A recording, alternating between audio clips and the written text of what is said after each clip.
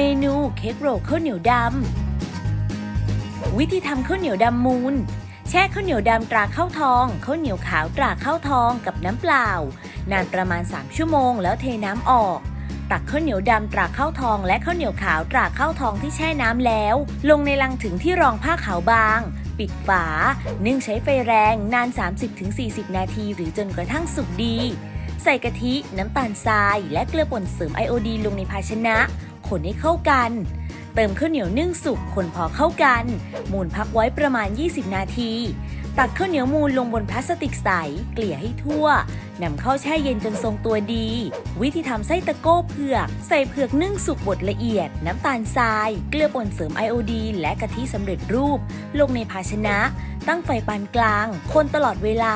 จนส่วนผสมเดือดทั่ว เติมแป้งถั่วเขียวละลายน้ำ คนจนส่วนผสมเดือดข้นแล้วปิดไฟาไส้ตะโก้เผือกให้ทั่วข้าวเหนียวที่เตรียมไว้ จากนั้นม้วนข้าวเหนียวเป็นท่อนกลมนำเข้าแช่เย็นจนทรงตัวดีนำออกมาบีบแป้งด้วยวิปปิ้งครีมที่ตีขึ้นฟู วางน้ำตาลรูปดอกไม้ให้สวยงาม พร้อมเสิร์ฟค่ะ